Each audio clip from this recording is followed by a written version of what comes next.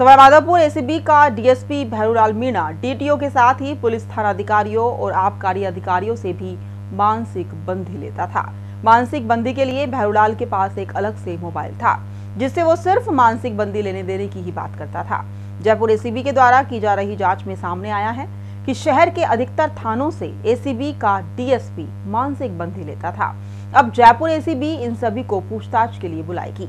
ACB DG BL Soni के अनुसार DSP Bherulal के बारे में मानसिक बंदी लेने की जानकारी सामने आते ही जयपुर एसीबी के द्वारा उनकी निगरानी करना शुरू कर दिया गया था।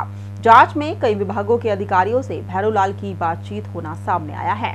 जाँच में डीटीओ सहित शहर के कुछ थानेदार और आबकारी अधिकारी से मानसिक बंदी लेने के लिए पुख्ता सूचना मिली थी, जिसके बाद जयपुर एसीबी के द्वारा गत दिनों कार्रवाई करते हुए डीटीओ महेश चंद से डीएसपी भैरूलाल को अस्सी हज़ार रूपए की मानसिक बंदी लेते हुए रंगे हाथों गिरफ़्तार किया गया था। इस दौरान एसीबी ने डीटीओ महेश चंद को भी गिरफ़्तार कर लिया था और दोनों को भरतपुर एसीबी कोर्ट में पेश किया था, जहाँ कोर्ट ने दोनों को 23 दिसंबर तक के लिए न्यायिक अभिरक्षा में भेज दिया। वही मामले की जाँच कर रही जयपुर एसीबी को मामले में और भी कई अहम सुराग हाथ लगे हैं।